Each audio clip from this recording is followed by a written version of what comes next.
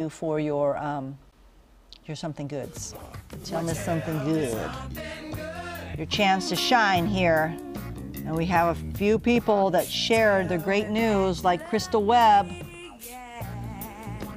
Doctor told us this week that we're having a baby girl. Nice. Woo! Congratulations. Congratulations, Crystal. Very nice. And then Linda Sharp, my grandson Braden signed a national letter of intent with the University of Tennessee. He's on the far right.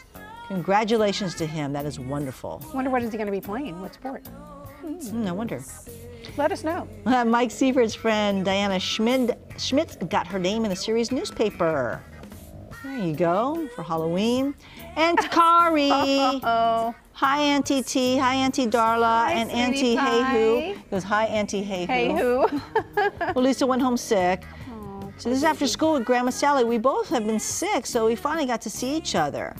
Separate homes, and now they got finally got to see each other. Look at that smile. Look at those dimples. Look at the shoes. So I know, right? cute. He so is flossing. Mm-hmm. All right, we'll do that. Tell me something good if you have something to share this past week. Send it to us, and we'll do it again in the 10 o'clock hour.